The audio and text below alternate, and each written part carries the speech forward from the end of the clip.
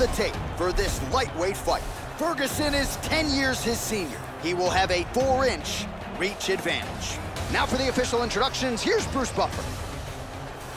Ladies and gentlemen, this is the main event of the evening.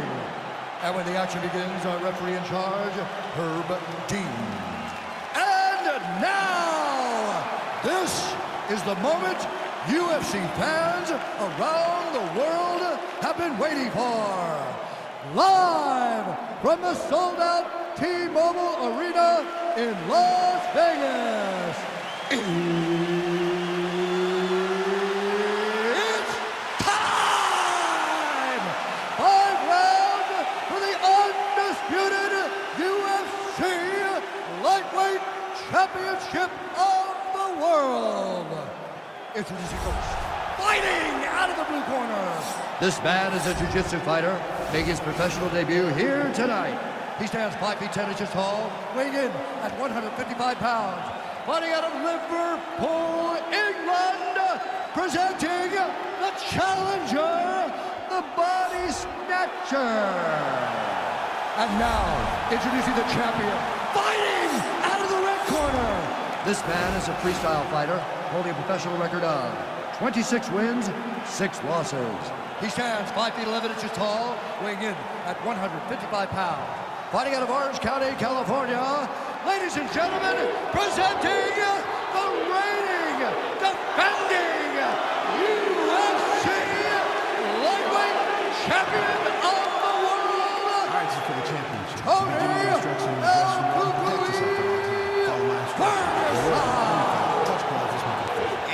touch of the gloves, we are underway.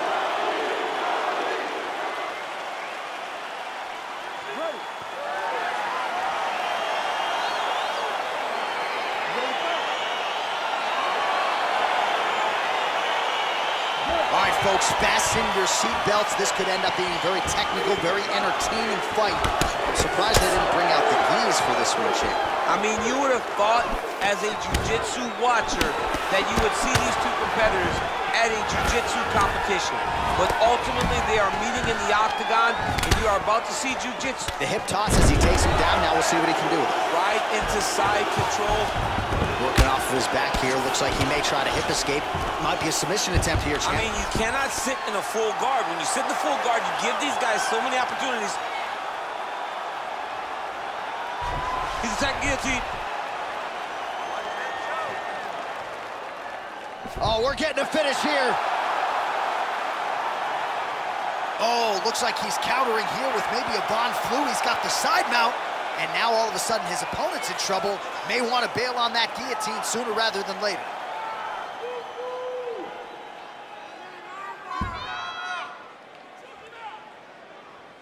Oh, nice job using his... Wow. All right, full guard here, DC. What does he need to do to improve position? Well, he's got to start to build his posture, get some damage off, move to half guard, which in turn leads to more opportunities for advancements. And if you're on the bottom, you got to anticipate those movements the moment he tries to move to the next position. You build a shield, get back to your feet, or dig an underhook to try to get a reversal or a sweep.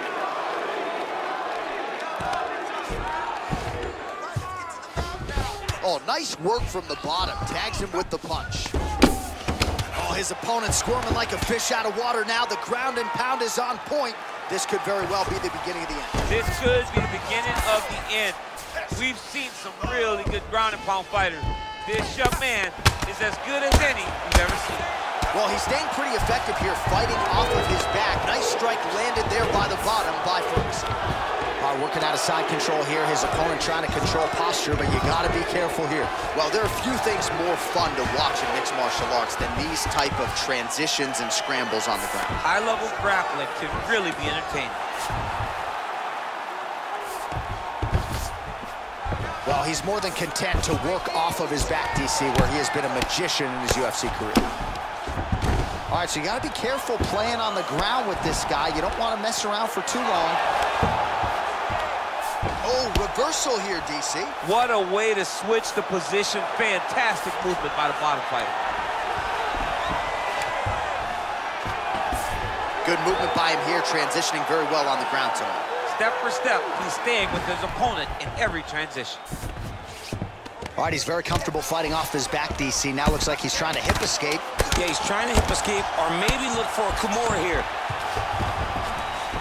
Five minutes in the books. Stop, stop, stop. All right, listen, breathe, relax. I need you to get out there and keep this fight on your feet. I want you to avoid that takedown. Deal with it. All right, so a lot of highlights over those previous five minutes. DC, take us through the replay if you would. A lot of good action, but punching led the dance. Punching was the thing that stood out to me. That allowed him to take control of the round.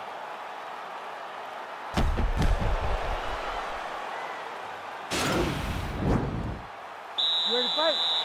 Ready. All right, round two. Starting to do some really significant damage to the body here. Another strike lands there. Big punch lands over the top. How's he gonna follow this one? Now he's masterful from here. Oh, he went to a single, switched to a high crotch.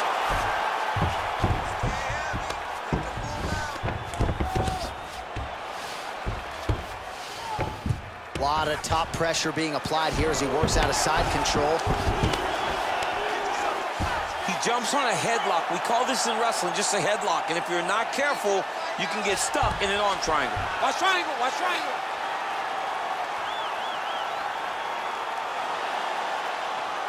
There he is, he's moving to the finishing position. Now watch, he goes parallel, right next to his opponent.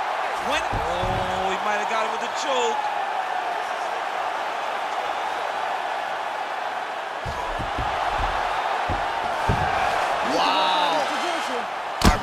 Side control. Upper body strength figures to be put to good use here. Yes, absolutely. And you got to look for his opponent to turn back into him. He should chase guillotine, but the opponent turns to the opposite side. He can take his back, throw his hooks in, try to choke, or flatten him out and just go for the finish. All right, side control now. We'll see if he can advance position. Strong bottom work here, staying busy. Ferguson's now looking for a Darce choke.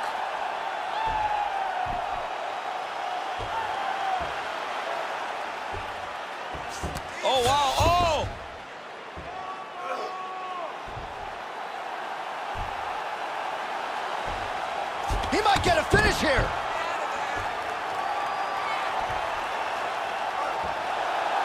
Getting tighter.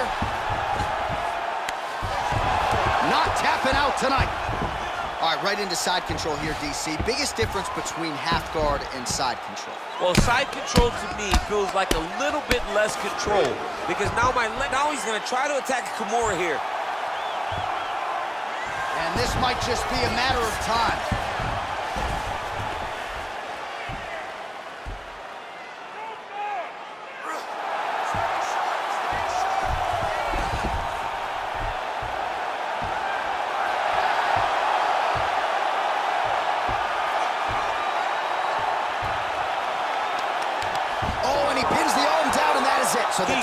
Shortly thereafter. He got the arm straight, right? The moment he was able to break the lock, John, his opponent was in trouble. Hip pressure up, opponent had to tap. And he tapped and he lives to fight another day, but a huge win for his opponent by submission tonight.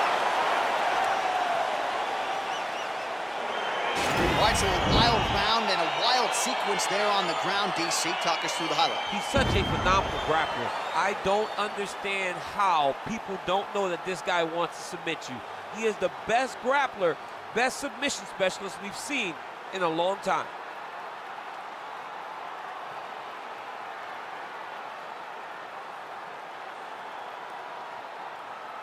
Well, ladies and gentlemen, there he is, the UFC lightweight champion, and I'm not sure any 155-pounder could have held up under the onslaught here tonight. He wins the belt by way of submission. Ladies and gentlemen, referee Herb Dean has called a stop to this contest at 4 minutes, 16 seconds of round number two. Declaring the winner by tap out.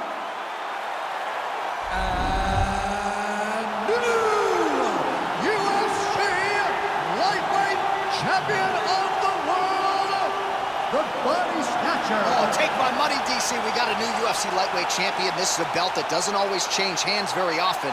There's a new king at 155 pounds. The most exciting moment in sports When Dana White wraps the belt around a new champion's Yes. waist, take a moment, son. Breathe it in. You are now the